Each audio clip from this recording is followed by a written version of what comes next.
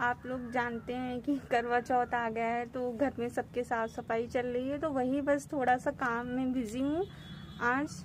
तो आइए मैं अपने ब्लॉग में आपको दिखाती हूँ कि मैं अपने छत की सफ़ाई करने जा रही हूँ। दोस्तों, अब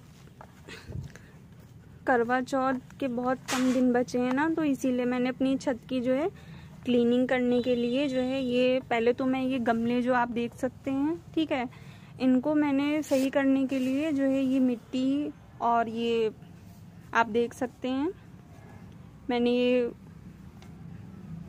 खाद तैयार की है, ठीक है? और पहले मैं साफ़ सफ़ाई के लिए पहले मैं इन गमलों को आप देख सकते हैं, कई सारे गमले हैं, ठीक है? ये देखिए। आप देख सकते हैं ये मनी प्लांट का पौधा है। जो मतलब इसमें एडजस्ट नहीं हो पा रहा है, सही से इसीलिए ये जो है चल नहीं पा रहा है। इसके लिए मैंने गम, बड़ा जो है गमला मंगवाया है। ठीक है, मैं उसे इसमें एडजस्ट करूँगी। और ये तुलसी का पेड़ है, और ये आप देख सकते हैं। ये मनी प्लांट का पेड़ है। ये ये जो है चला नहीं दोस्तों।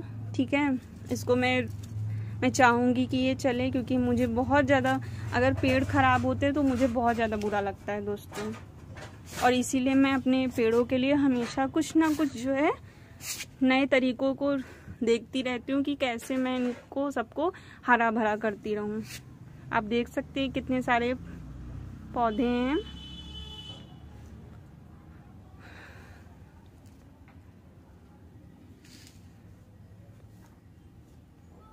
सारे पौधे हैं।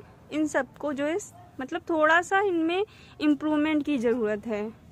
है ना?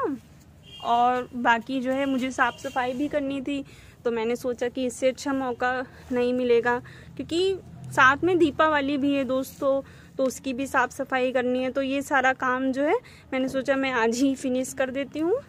और आप देख सकते हैं ये कितनी अच्छी मिट्टी है।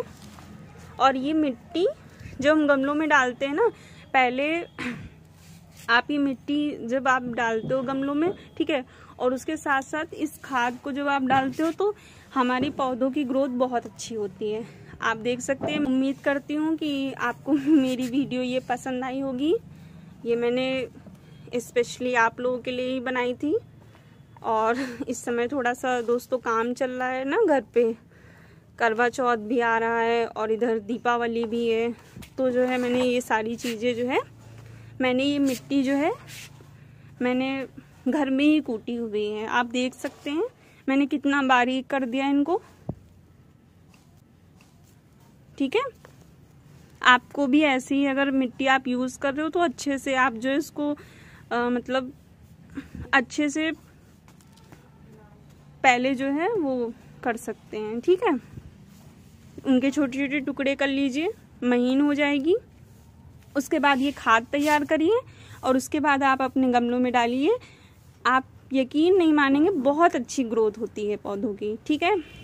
और दोस्तों, मैं उम्मीद करती हूँ कि आपको ये मेरा ब्लॉग बहुत पसंद आया होगा, ठीक है? ऐसे ही ढेर सारा प्यार मुझे देते रहिएगा दोस्तों। और आपको करवा चौथ की और दीपावली की ढेर सारी बधाई हो। Thank you so much.